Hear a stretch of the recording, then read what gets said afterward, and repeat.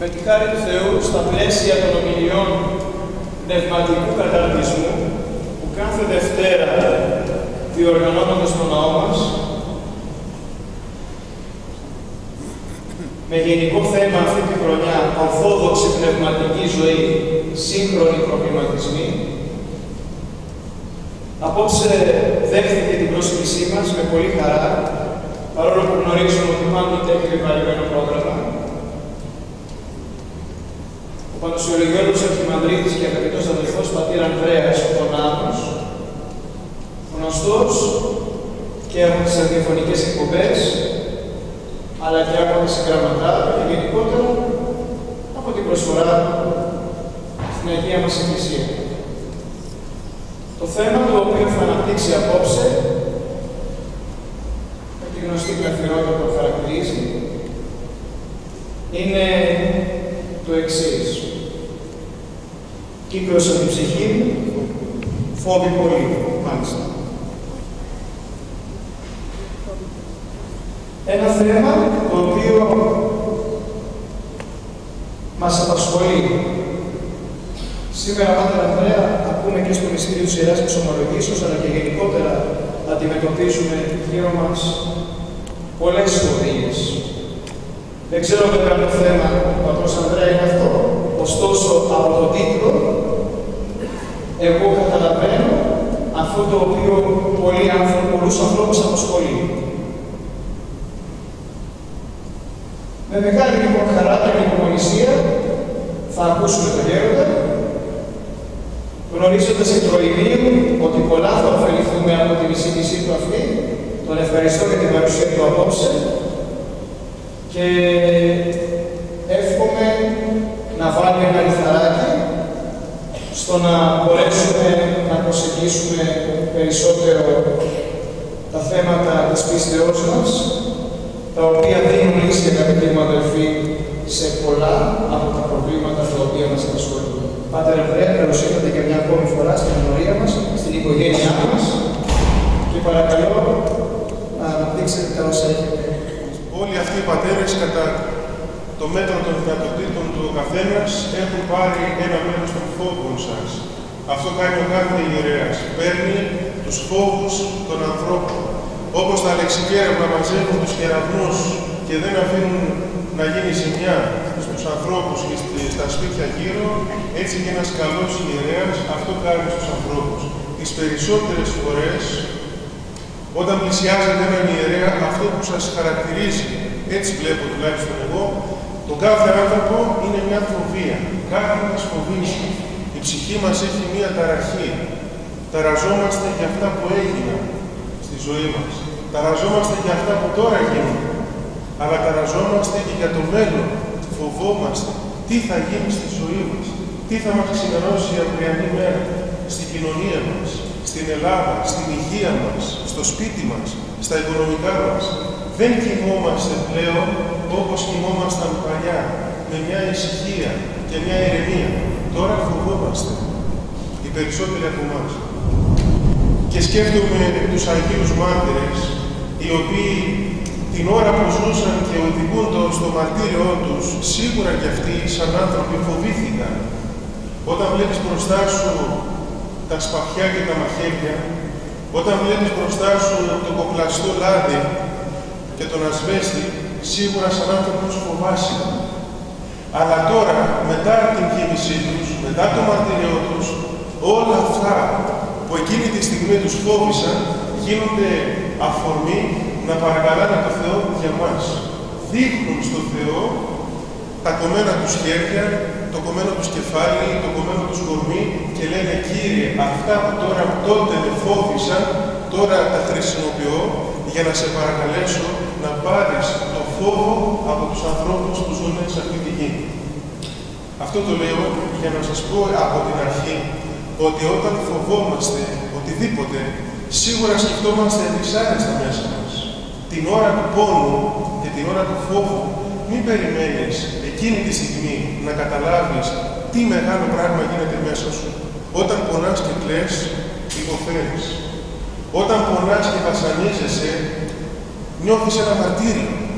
Αλλά όταν περάσουν πέντε μήνες, ένας χρόνος, δύο χρόνια και κοιτάξεις πίσω τη ζωή σου και δεις ποιες ήταν οι στιγμές, οι πιο σπουδαίες, οι πιο δυνατές, που σε έκαναν περισσότερο άγιο, περισσότερο ταπεινό, περισσότερο σοφό, θα δεις ότι είναι ακριβώς οι στιγμές του φόβου σου, οι στιγμές του πόνου, οι στιγμές, οι στιγμές της αγωνίας.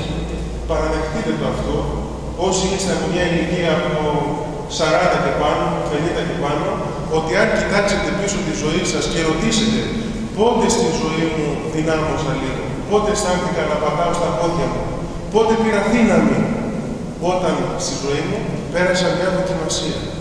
Όταν ταράχτηκα, τότε άρχισα να ψάχνω μέσα μου τι συμβαίνει. Τότε άρχισα να αναζητώ λύσεις στα προβλήματά μου. Τα χέρια μου απέκτησαν δύναμη και ήθελα κάπου να πιαστώ, να γαντζωθώ. Και πολλοί το λένε, βρήκα το Θεό όταν στη ζωή μου έγινε κάτι που με τρόμαξε, με φόβησε. Ένας θάνατος. Συγκλονίστηκα. Φοβήθηκα. Είδα τον άνθρωπό μου να τον πηγαίνω στο νεκροταφείο. Αυτός ο φόβος με έκανε να πιαστώ από το Θεό και να δυναμώσει η ψυχή μου. Την ώρα τη δύσκολη είναι η ώρα που θα νιώθουμε μεγάλη ευγεσία από το Θεό και ευγνωμοσύνη στο Θεό. Μόνο που αυτό δεν το καταλαβαίνουμε την ώρα που πονάμε, αλλά πρέπει να περάσει αρκετός καιρός. Γι' αυτό να το ξέρουμε αυτό μέσα μας. Σήμερα με φοβίζει η ζωή.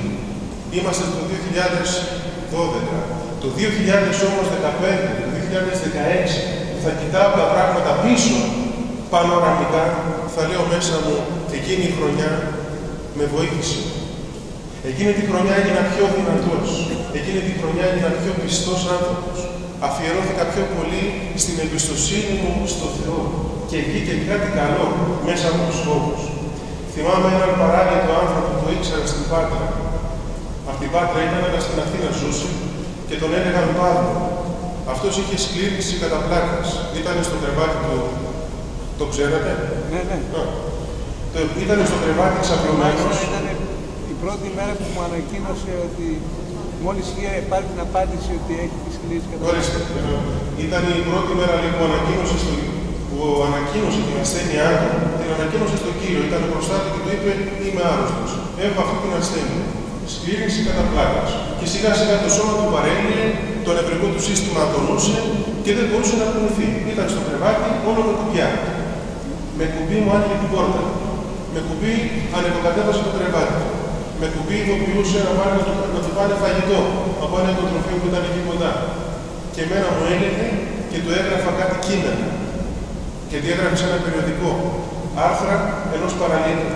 Και το ονόμαζε έτσι τα άρθρα εκ του αμαξιδίου. Από το αμαξίδιο. Από το καροτσάκι το αναπηρικό. Και μια μέρα λοιπόν πήγα μέσα και είχε κοινωνήσει. Είχε πάει ο ιερέας από το νοσοκομείο και το κοινώνησε. Και είχε μεγάλη δοκιμασία και στεναχώρητες. Είχε πειρασμούς κάποια εποχή. Και γυρίζει μια μέρα και μου λέει Έρχεται θαύμα. Έρχεται θαύμα στη ζωή μου. Περίμενε τι θα δεις. Του λέω, πού το ξέρετε κύριε Παύλο ότι θα γίνει θαύμα; Γιατί μου λέει, φοβάμαι. Όταν φοβάμαι και όταν έχω πειρασμούς, μετά από λίγο ο Θεός έρχεται και με βρίσκει. Και τώρα έχω φτάσει, μου λέει, σε δύσκολο σημείο και το πιστεύω ότι είναι η ώρα που θα έρθει ο Θεός. Όταν φοβάσαι, έρχεται η ώρα να ανοίξει ο Θεός τους ουρανούς του και να σε βοηθήσει. Ο φόβος οδηγεί στην ελπίδα του Θεού, στο γάτζωμα επάνω του και στο στήριγμα της ψυχής μας, παρόλο που για λίγο κλονίζεσαι. Και να σας πω και κάτι που μερικές φορές δεν το πιστεύετε μέσα στην ψυχή σας οι περισσότεροι άνθρωποι, και εγώ δεν το πολύ πιστεύω, γιατί έχω μάθει και εγώ από μικρός, όπως με μεγάλωσα, όπως και εσάς. Δηλαδή, μας είπαν από μικρά παιδιά πάρα πολλές φορές ότι δεν μπορούμε να τα καταφέρουμε στη ζωή και ότι είμαστε αδύναμοι. Αυτό μας το είπανε πάρα πολλές φορές. Η μάνα μας, ο πατέρας μας, οι συγγενείς μας, μια φίλη μας. Πρόσεχε, θα πέσεις. Πρόσεχε, δεν μπορείς εσύ, δεν το δω. Πρόσεχε εκεί που θα πας, γιατί κινδυνεύεις να αποτύχεις. Συνέχεια, συνέχεια, συνέχεια, στα μαθήματα, στη ζωή, στη δουλειά, στην οικογένεια. Άσο να πεις ο καθένας στον εαυτό του πόσες φορές του είπε κάποιος ότι δεν έχει δυνατότητες, ότι δεν μπορεί να τα καταφέρει στη ζωή. Και στο τέλος το πίστεψες ότι όλα είναι δύσκολα και όλα είναι ακατόρθωτα. Και η ψυχή σου είναι πολύ επιρρεπής στο φόβο, γιατί δεν έχουμε μεγαλώσει με δύναμη, με πεποίθηση ότι ο Θεός μου δίνει δύναμη και θα τα καταφέρω στη ζωή. Πιστεύουμε πάρα πολύ στην αδυναμία μας. Είμαστε παιδιά του Θεού, αγγίζουμε τη δύναμη του Θεού, ξέρουμε ότι είμαστε δυνατοί. Όλο φοβόμαστε. Όλο κλεγόμαστε. Όλο τρομάζουμε. Θα πάω αύριο σε μια δουλειά. Κάτι προσευχή φοβάμαι. Γιατί φοβάσαι; Δεν ξέρω αν θα με πάρουν. Και γιατί φοβάσαι; Άλλο αυτό. Δεν θα, μπορεί να μην σε πάρουν. Αλλά γιατί φοβάσαι έτσι τόσο για την ικανότητά σου, για τις δυνατότητές σου, αφού μπορείς; Δεν το πιστεύεις αυτό. Ξεκινάς να κάνεις οικογένεια και φοβάσαι. Μένει έγκυο μια κοπέλα, φοβάται. Γιατί φοβάσαι; Γιατί το μυαλό μας πηγαίνει πολύ πιο εύκολα στην αποτυχία παρά στην επιτυχία. Πιο πολύ πιστεύουμε ότι θα αποτύχουμε παρά ότι θα πετύχουμε. Λέω ψέμα, οι περισσότεροι έτσι είμαστε. Το μυαλό μας, όταν το παιδί σου λείπει από το σπίτι, δεν σκέφτεται ποτέ το, το μυαλό σου ότι το παιδί μου πήγε δύο η ώρα το βράδυ, δύο ώρα το δύο. Εντάξει, αργεί, περνάει ωραία. Όχι, κάτι έχει το παιδί. Τι είναι αυτό, πήγε δύο ώρα. Κάτι συμβαίνει. Τι συμβαίνει, κάτι κακό. Γιατί, γιατί μου έχει γίνει συνήθεια το μυαλό μου να το φοβίζει ο κίνδυνος είτε υπάρχει είτε δεν υπάρχει. Αυτό όταν το καταλάβεις πρέπει να το πολεμήσεις. Πώς να το πολεμήσεις, έτσι όπως τα λέμε τώρα. Δηλαδή να κάτσεις να σκεφτείς λογικά και να πεις πόσες φορές φοβήθηκα και στο τέλος είδα ότι έκανα λάθος. Πόσες φορές νόμιζα ότι το παιδί μου θα μου το φέρουν με το ασθενοφόρο και γύρισε μια χαρά. Και μου λέει, καλά ρε, μα τι κάνεις έτσι; Άρχισε, τι, τι έγινε, μια χαρά είναι. Γιατί δεν βάζω μυαλό και να πω τα πάντα τα κυβερνάει ο Θεός. Το παιδί μου δεν παθαίνει τίποτα. Το παιδί μου αν πάθει μια φορά στις χίλιες κάτι, σημαίνει ότι θα το πάθει όμως όπως το παθαίνει όλος ο κόσμος. Εσύ όμως φοβάσαι συνέχεια. Όχι μόνο τότε που θα πάθει τη ζημιά, φοβάσαι πολλές πολλές φορές πριν πάθει μια ζημιά. Μπορούμε λοιπόν να αντέξουμε. Έχεις δύναμη. Αυτό πρέπει να το πιστέψουμε, πρέπει να το θυμίσουμε στον εαυτό μας, να λέμε κι εμείς αυτό που έλεγε ο Απόστολος Παύλος, ότι πάντα ισχύω εν το ενδυναμούντι με Χριστό. Μπορώ τα πάντα. Δεν με φοβήσει τίποτα στη ζωή. Μπορώ να τα καταφέρω. Θα πάω στη δουλειά και θα με διώξουν, θα τα καταφέρω.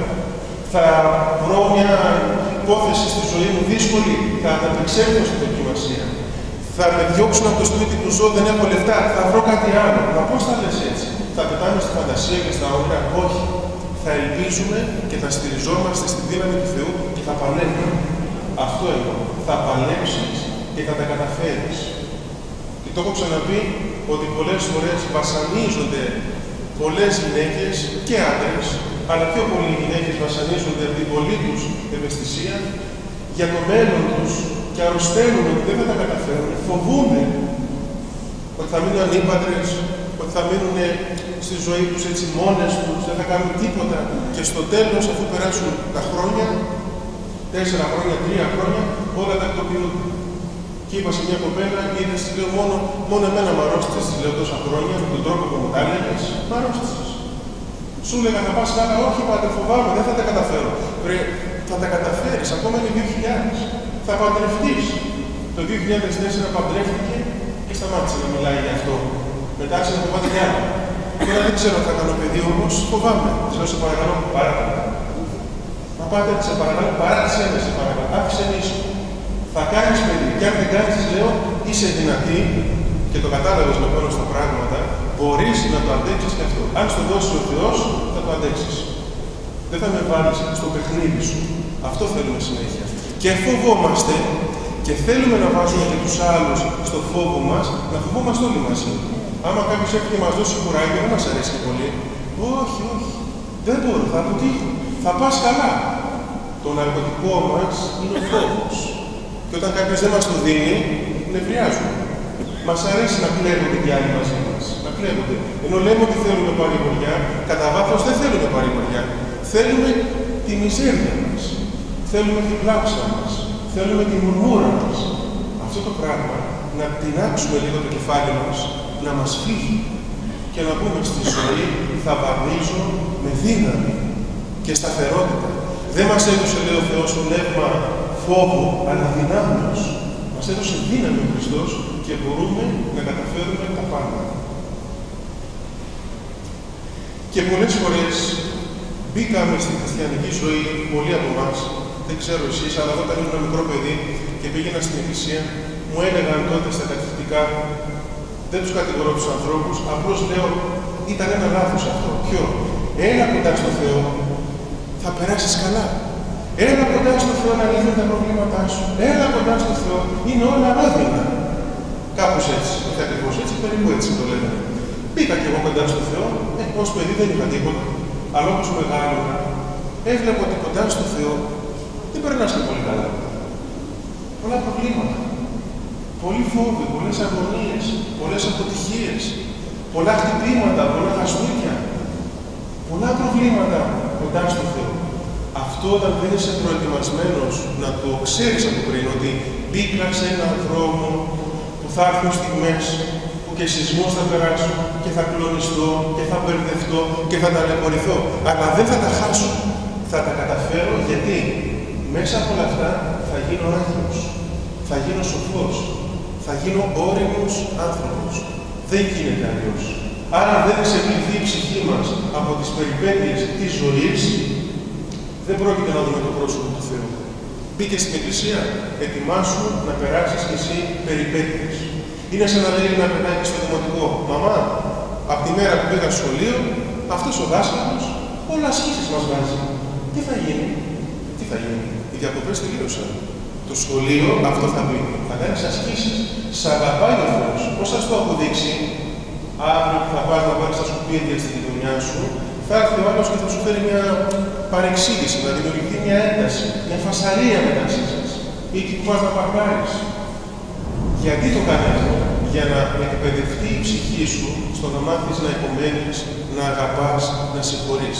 Αυτά δεν μαθαίνονται χωρίς περιπέτειες, χωρίς δοκιμασίες, χωρίς φοβίες στη ζωή. Αυτά που σε φοβίζουν σε κάνουν δυνατό. Στο τέλος σε κάνουν δυνατό. Δεν υπάρχει άλλος δρόμος. Αν εσείς ξέρετε άλλο δρόμο, Οπότε λοιπόν όταν αυτό κανείς το ξέρει και πάει στην χριστιανική ζωή κοντά στο Θεό, προετοιμασμένος ότι θα περάσει και δύσκολα, δεν ξαφνιάζει. Δεν πέφτει από τα σύννεφα. Δεν λέει τι ήταν αυτό που με βρήκε. Αυτή είναι η ζωή. Πείτε με έναν Άγιο που δεν ήρθαν στιγμές της ζωής του, που κι αυτός φοβήθηκε, τρόμαξε, πέρασε αγωνίες, δοκιμασίες, πειρασμούς. Όλοι τα πέρασαν αυτά. Όλοι. Δεν είναι έτσι που λέει ένας.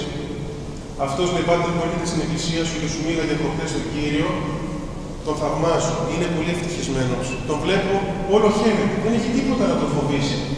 Του λέω δεν μπορώ να σου πω προσωπικά τα θέματα, αλλά ακόμα και αυτόν που θαυμάζεις, αυτούς που ζηλεύεις, δεν τους ξέρεις. Αν σκαλίσεις λίγο την ψυχή τους, έχουν και αυτοί τα προσωπικά τους προβλήματα, τις αγωνίες τους, τα παιδιά τους, τα λεφτά τους, τις κρυφές τους αρρώστιες. Δεν θα σου πει εσένα τα πάντα. Αυτός περίμενε εξετάσεις από τον γιατρό αν έχει καρκίνο και χαμογελούσε στον κόσμο. Τι θα κάτσεις να πεις όλους εύκολα, το λες εύκολα, ξέρετε, τρέμω. Σας γελάω τώρα, αλλά μέσα μου τρέμω, γιατί μπορεί να έχω κάτι. Δεν το λέει και εσύ τον ζηλεύεις. Αλλά όλοι μέσα τους έχουν κάτι που τους φοβήσει. Όλοι τώρα, αν σας ρωτήσω και εμένα με ρωτήσετε εσύ που τα λες, έχεις τίποτα μέσα σου. Έχω κι εγώ. Κάτι σκέφτομαι. Για το μέλλον μου, για το τι θα συμβεί στη ζωή μου, για αρρώστιες, για τους γονείς μου, για μένα. Όλοι έχουμε αφορμή να φοβηθούμε. Αλλά μπορούμε μέσα από αυτό να δυναμώσει η ψυχή μας και να οριμάσουμε και να απλώσουμε ρίζες στη ζωή του Θεού. Μου είπε κάποιος για το πνευματικό του, που τον έχει στο Άγιο Όρος, μου λέει «Αγαπάω πολύ το πνευματικό μου και του χρωστάω μεγάλη χάρη για ένα πράγμα στη ζωή». Του λέω τι, με δίδαξε να το πάρω απόφαση ότι στη ζωή υπάρχει και ο πόνος και η χαρά. Δεν με έπαιζε στα χέρια του έτσι να με καταγγέλει, μου είπε την αλήθεια. Και όταν πήγαινα και το έλεγα ότι περνάω πειρασμός, μου λέει τι περίμενες; Γιατί δεν καταλάβατε. Όταν πήγαινα να κλάψω, πήθαινα τη στεναχώρια μου, λέγε Μην κλαις, πάτα στα πόδια σου και δυνάμωσε. Άσε τις ευαισθησίες αυτές. Είναι ευαισθησία του εγωισμού σου του παρεξηγημένου.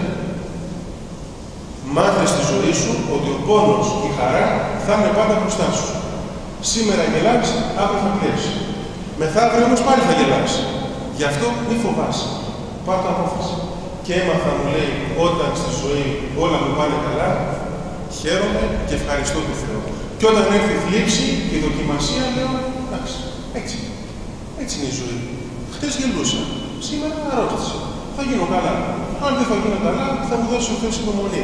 Και με έμαθε, λέει, να δυναμώσει η ψυχή μου και να δω τη ζωή με αυτόν τον τρόπο. Δεν ξέρω αν το έχετε καταλάβει ότι πραγματικά η ζωή είναι μια, ένα σύμπλεγμα πόνου και ευτυχίας. Χαράς, αλλά και φόβου. Λένε οι επιστήμονες και ειδικά οι παιδοψυχολόγοι ότι όταν ο άνθρωπος γεννιέται και βγαίνει από την κοιλιά της μάνας του, το πρώτο που νιώθει είναι ένας πολύ μεγάλος φόβος. Γιατί τρομάζει που βγαίνει από την καλή και την ευτυχία και τη ζεστασιά της θαλπορής που είναι μέσα στα σπλάχνα της μάνας του. Ύστερα πολλοί όταν φοβούνται, είναι κάτι καλό που κρίνει ο φόβος, ότι μας κάνει πιο ανθρώπινους. Δηλαδή, γινόμαστε πιο πονετικοί όταν φοβόμαστε κάτι στη δική μας τη ζωή. Μια μάνα, ας πούμε, που έχει τα παιδιά της και λείπουνε, ή μια μάνα που είναι ο γιος της στο στρατό, ή ο, ο, ο πατέρας που είναι ο γιος του στο στρατό, και ακούσει έναν άλλο που έχει παρόμοιο πρόβλημα, το νιώθει. Σου λέει, ξέρω τι νιώθεις, γιατί και εγώ έχω την ίδια αγωνία με σένα. Όπως ο βάζεις ή το παιδί σου τι κάνει, και εγώ το δικό μου το σκέφτομαι. Μια γυναίκα η οποία έχει περάσει το φόβο στη δική της οικογένεια με αρρώστιες, με νοσοκομεία, με εντατικές κλπ. Όταν ακούσει κάποια άλλη, την πονάει.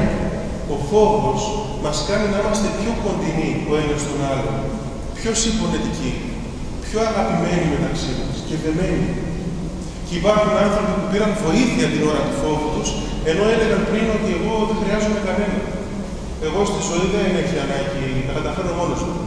Και ήρθε ώρα και αυτός που έκανε τον σκληρό και τον, τον δύσκολο και τον ζώρικο χαρακτήρα, τώρα πάνε και τον βοηθάνε.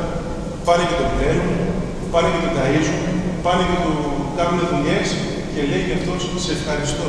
Οι φοβίες της ζωής, τα προβλήματα της ζωής με έκαναν πιο ανθρώπινο και δέχτηκα βοήθεια. Και σε ευχαριστώ που με βοηθάς. Που κάποτε νόμιζα ότι θα τα καταφέρω μόνος μου τα πάντα. Μου έκανε εντύπωση πριν λίγες μέρες είδα στην τηλεόραση στις ειδήσεις αυτόν τον άνθρωπο που έλεγε ότι έδωσε ρούχα και τρόφιμα σε μια εκκλησία για την αρχιεπισκοπή Αθηνών. Και αυτή τη φορά πήγε να πάρει ο ίδιος. Η οικονομική κρίση τον έκανε έτσι μέσα του να τρομάξει, να φοβηθεί το μέλλον του και τη ζωή του και κατάκτησε αυτός ο άνθρωπος που κάποτε έδινε ελεημοσύνη στους άλλους, τώρα πήγε και έλεγε στην τηλεόραση κατάκτησα, λέει, κατάκτησα, εκεί που έδινα ελεημοσύνη, τώρα εγώ ίδιος να έρχομαι και να λέω, μου δίνετε και εμένα ένα κουφάν. Εγώ έδινα κουφάν πρόταση και τώρα παίρνω κουφάν εγώ να φορέσω. Αυτό όμως τον ταπείνωσε. Αυτό τον έκανε αληθινό και γνήσιο άνθρωπο. Οι πιο πολλοί είμαστε άνθρωποι της βιτρίνας.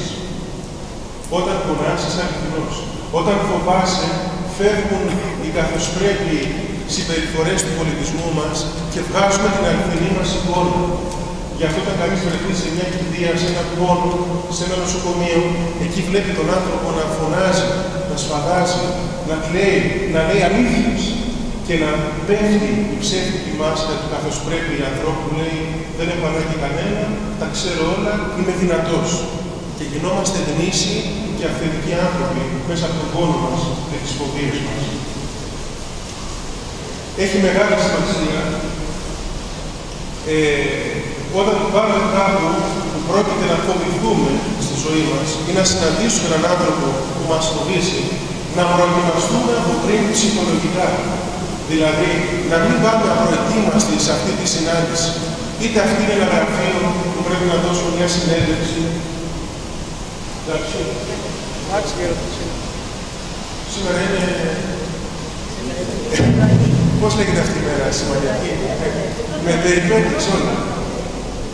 Για να ξεπεράσω και εγώ τον φόβο μου, να μιλάω με όλες τις συνθήκες. Βρέξει, χιονίσει, στάζει, δεν στάζει. Σου λέει ο Θεός, θα μιλάς ό,τι και να γίνει.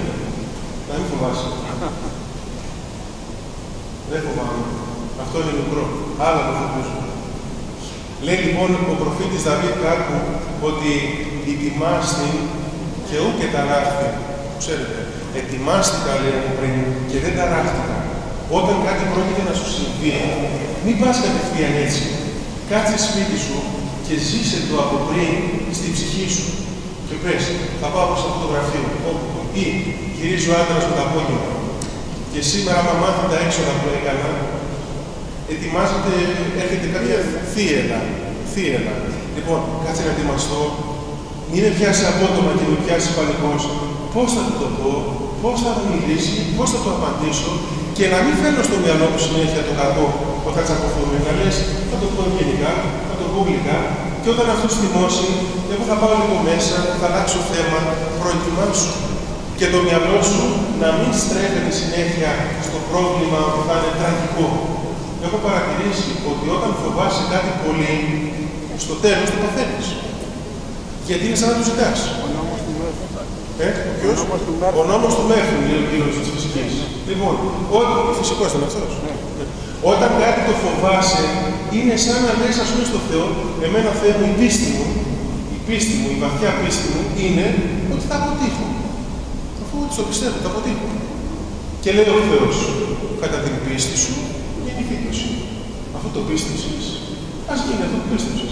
Τι πίστεψες, ότι 5 και 4 το απόγευμα που δίνεις δίπλωμα αυτοκινήτου, δίπλωμα το αυτοκίνητο, λες αποκλείεται, θα πω. Μόλις πάω να πάμε δεύτερη φορά μπρος, θα μου σβήσει. Λοιπόν, όπως το είπες, έτσι έγινε. Γιατί, Γιατί μέσα σου δεν εμπιστεύτηκες στον Θεό, δεν πίστεψες. Άφησες τον φόβο να κυριαρχήσει και να σε κυριεύσει. Αυτό το άφησες, έτσι έγινε. Γι' αυτό είναι πολύ σημαντικό όταν πάμε κάπου να, να συναντήσουμε ένα δύσκολο πρόσωπο, να τον νιώθουμε από πριν μέσα στην αγάπη του Θεού και μέσα στη βοήθεια του Θεού. Με ελπίδα και πίστη. Να πάω να βλέπω τον άλλον σαν να είναι αδερφός μου που με αγαπάει, είναι καλός άνθρωπος. Πάω στο διευθυντή μιας εταιρείας. Όταν μέσα σου πεις αυτός ο άνθρωπος τόσο σκληρός που είναι, αποκλείεται να δεχτεί αυτό που θα του ζητήσω; Είσαι προδιατεθειμένος να δημιουργηθεί σύγκρουση. Γι' αυτό είναι πολύ βασικό η προετοιμασία της ψυχής μας. Έρχεται το παιδί σου στο σπίτι, να προετοιμάσεις την ψυχή σου από πριν και να λες: Το παιδί μου έρχεται, θα περάσουμε ένα ωραίο βράδυ. Δεν θα υπάρχουν νεύρα μεταξύ μας, θα υπάρχει αγάπη. Να το νιώθεις, να λες την προσευχή σου, κύριε Ιησού Χριστέ, φέρε μας γαλήνη και θα το πιστεύω ότι έχετε γαλήνη στο σπίτι μου. Αν όμως λες, τι ώρα είναι αυτά, σε λιγοτηρίζω το φροντιστήριο. Έχει να γίνει με τον πατέρα του τα μάθει, τι βαθμού πήρες στο σχολείο του. Άμα προετοιμάζεσαι με τέτοιο εκφοβιστικό κλίμα για φασαρία, θα συμβεί. Είναι πολύ μεγάλη η σημασία της ψυχικής προετοιμασίας σε κάθε φόβο της ζωής. Και όταν ε, συμβεί κάτι στη ζωή σου και σε φοβήσει, είναι βασικό να μάθεις στο χαρακτήρα σου και στην ψυχή σου να επιστρέφεις γρήγορα πάλι στον δρόμο της ηρεμίας και της γαλήνης. Ωραία. Έγινε κάτι και στεναχωρήθηκες. Έγινε κάτι και φοβήθηκες. Ωραία.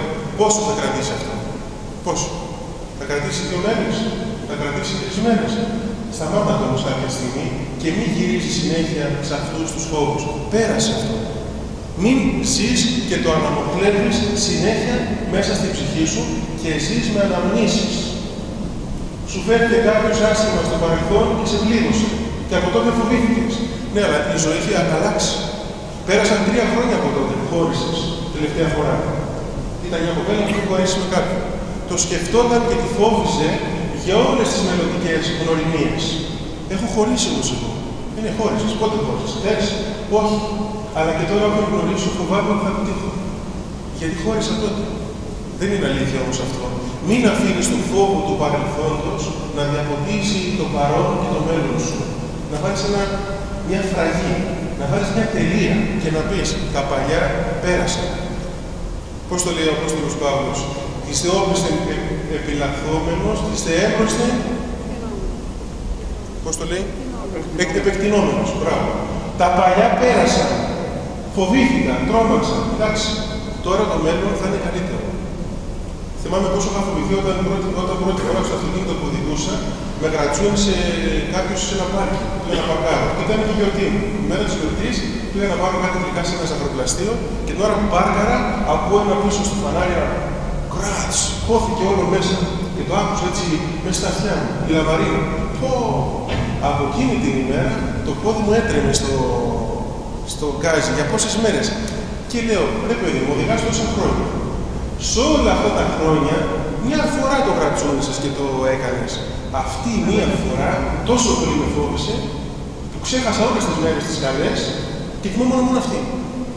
Τι σας έλεγα πριν, το μυαλό μας έχει τη συνήθεια να, να κολλάει πιο πολύ σε αυτά που το φοβίζουν, παρά σε αυτά που του δίνουν κουράγιο και ελπίδα. Αυτό να το προσέχουμε και να βάζουμε τη λογική, τη φωτισμένη λογική του Θεού και να λέμε δεν είναι αλήθεια. Αυτό είναι το μυαλό μου. Δεν είναι αλήθεια έτσι όπως τα πιστεύω. Μη φοβάσαι να οδηγήσεις πάλι. Μα θα τρακάρω πάλι. Ας τρακάρεις πάλι. Όταν πεις ας τρακάρω πάλι, θα τρακάρεις. Να μην το φοβάσαι.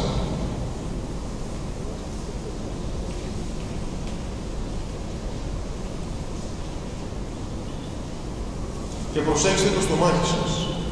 Μερικοί από το στομάχι τους, από τις πολλές στεναχώριες και τους πολλούς φόβους, χτυπάει στο στομάχι. Οι φόβοι σωματοποιούνται. Ο άνθρωπος είναι γεμάτος νερό. Όλο νερό είμαστε. Υγρά είμαστε μέσα.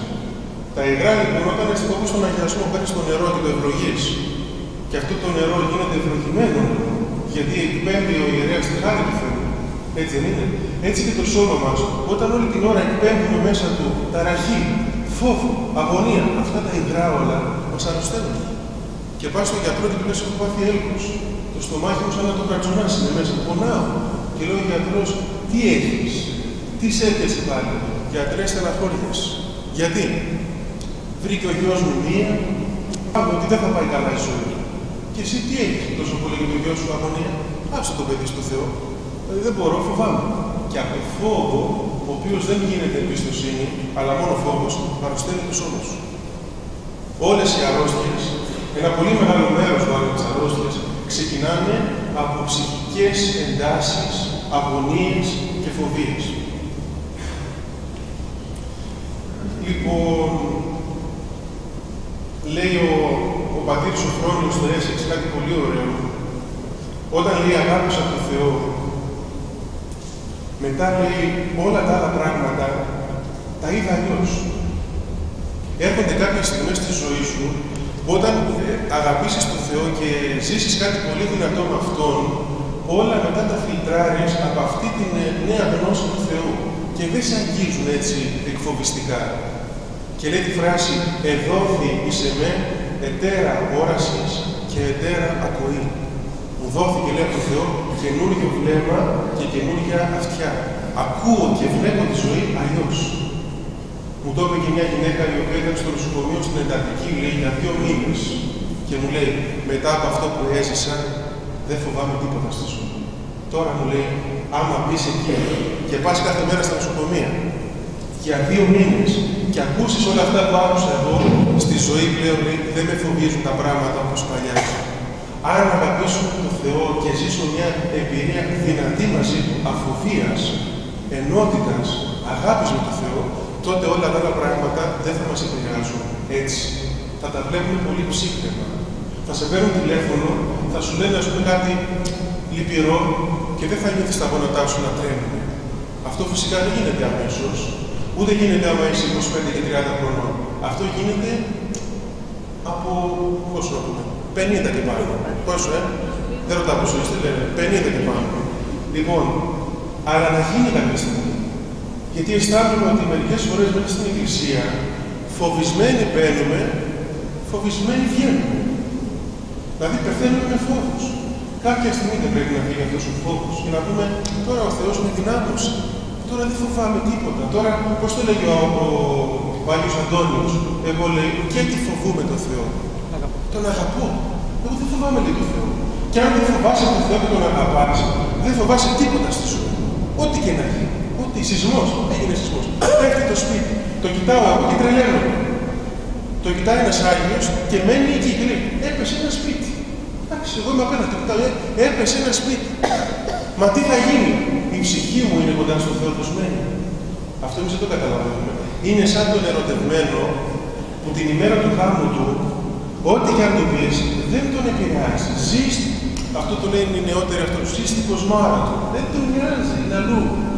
Ό,τι και να το πεις την ημέρα, δεν έχεις λεφτά, δεν έχεις δουλειά, αύριο δεν, δεν με νοιάζει τίποτα. Εγώ σήμερα ζω την ευτυχία μου, την αγάπη μου, τον έρωτά μου, τη σχέση μου. Δεν με αγγίζει τίποτα. Αυτό το πράγμα κάπου όταν το ζήσουμε θα είναι πολύ δυνατό. Να μην μας φοβίζουν τα πράγματα αυτού του κόσμου, γιατί θα έχουμε αγγίξει τα πράγματα μιας άλλης εμπειρίας του Θεού. Αυτό είναι το ζητούμενο της ψυχής μας. Και να θυμόμαστε αυτό που λέει ότι η αγάπη έξω βάλει τον φόβο. Όταν αγαπάς, δεν μπορεί να φοβάσαι. Όταν αγαπάω κάποιον, το πλησιάζω όπως ένα μικρό παιδί. Το μικρό παιδί είτε δει ένα γατάκι, είτε δει ένα φίδι, πάει να τον ταιριάσει. Γιατί το μικρό παιδί δεν νιώθει φόβο, γιατί όλα τα νιώθει δικά Όλα τα αγαπάει, όλα τα αισθάνεται έναν κόσμο του Θεού καινούργιο. Εμείς όσο μεγαλώνουμε, αρχίζουμε και νιώθουμε απόσταση και φοβόμαστε. Σου λέει αυτός είναι ξένο, δεν το πω. Σιγά με να ανοίξω εγώ την ψυχή μου. Αυτή είναι άγνωστη. Αυτού δεν τους ξέρω. Αυτή δεν είναι καλή. Όταν όμως αγαπάς, δεν φοβάσαι. Πλησιάζεις τους πάντες. Νιώθεις εμπιστοσύνη στους πάντες. Και εμπιστεύεσαι και τη ζωή, το Θεό, μέσα στη ζωή, όπως σου φέρνει τα πράγματα. Και λες, έχει ο Θεός. Έχει ο Θεός. Έλεγα σε κάποιον, δεν φοβάσαι το θάνατο. Μου λέει, κοίταξε να δεις, αυτό το θέμα δεν το έχει λύσει κανείς για να το λύσω εγώ. Ή περιμένεις να το κολλήσει. Εμπιστεύομαι, λέει, την ανθρωπότητα, όλο τον κόσμο, όπως πεθαίνουν όλοι, θα πω και εγώ στη σειρά να πεθάνω. Είναι. Εντάξει. Δεν χρειάζεται να, να σκεφτώ ότι εγώ πρέπει να το λύσω. Εμπιστεύομαι. Ενώνομαι. Ο παππούς μου πέθανε, η γιαγιά μου πέθανε, οι προπαππούδες μου πέθανε. Εγώ τι δηλαδή. Το σκέφτομαι ταπεινά και απλά. Το αγκαλιάζω σαν ιδέα, όπως έλεγε στο Καζατσάκι αυτός ο μοναχός του Άγιο Όρος, που του λέει δεν φοβάσαι το Θεό, το θάνατο, του λέει πάντα. Το κοιτάω, λέει, στα μάτια και φεύγει. Όταν τον κοιτάξω στα μάτια, λέει, φεύγει. Όταν τον φοβάμαι, έρχεται. Όταν τον κοιτάξω, και του λέω, τι έγινε, τι θέλεις. Όταν πω τι θέλεις, τότε δεν μου κάνει τίποτα. Γιατί καταλαβαίνω ότι είμαι άνθρωπος. Δεν πετάω στα σύννεφα, αλλά καταλαβαίνω ότι δεν, δεν μπορώ να αποφύγω κάτι και το βλέπω ψύχρεμο. Έτσι θα γίνει. Θα γίνει. Όπως το επέτρεψε ο Θεός. Όπου η γιαγιά μου τότε είχε πεθάνει πριν λίγα χρόνια, τη βρήκαν στο χωριό στο σπίτι. Δεν μπορούσε να μου βγει από το μυαλό πώς να ήταν. Γιατί δεν είχα τύχει την ώρα εκείνη την βρω εγώ. Πώς ρε παιδί μου το, ε, το άντεξε αυτό το πράγμα. Πώς δεν φοβήθηκε. Στον ύπνο της ξύπνησε εκεί τα, με τις κουβέρτες, πέθανε στον ύπνο της. Πώς να ήταν. Μόνο που το σκεφτόμουν, εγώ φοβόμουν. Και είπα μέσα μου, κι όμως η γιαγιά μου το άντεξε. Το πέρασε. Ο παππούς μου, ο ένα, έτσι και εγώ. Αν λοιπόν μάθεις να αγαπάς τα πράγματα όπως στα φέρνει ο Θεός και δεν διαχωρίζεσαι και λες εγώ πρέπει να δω αλλιώς τη ζωή, εμένα πρέπει να μου φερθούν αλλιώς. Εμένα ο Θεός πρέπει να με αντιμετωπίσει αλλιώς. Γιατί τι είσαι εσύ. Ένα απλό πλάσμα είσαι όπως είμαστε όλοι. Όπως κατρακυλάει η βροχή τώρα που ερχόμουν και φεύγουν τα νερά, έτσι είναι η ζωή μας. Κυλάει η ζωή μας. Όλοι έτσι είμαστε. Ασήμαντοι, απλοί άνθρωποι. Αν παραδοθούμε στο Θεό, θα ηρεμήσουμε. Βέβαια αυτά, είπαμε, γίνονται στους μεγαλύτερους στην ηλικία. Εμείς οι νεότεροι έχουμε λίγο έτσι το πανικό και το τρένο. Γι' αυτό βλέπεις έναν παππού, ας πούμε, πάει 80 χρονών και είναι όριμος και έχει γίνει και λίγο Άγιος, σου λέει, ας πούμε, τα πιο σοβαρά θέματα ψύχρα. Παντρεύτηκε, λέει, ο εγγονός μου και μετά το παιδί χώρισε. Και το συζητάει ήρεμα. Δεν το πιάνει η αγωνία, ενώ η, η μάνα του παιδιού το συζητάει και λέει. Ο παππούς όμως που έχει περάσει πολλά στη ζωή και ξέρει ότι η ζωή είναι έτσι πόνο, χαρές, λύπες κλπ. Δεν σοκάρει να σου έτσι είναι η ζωή. Ψυχραιμία. Θα το περάσουμε. Και η ζωή συνεχίζει.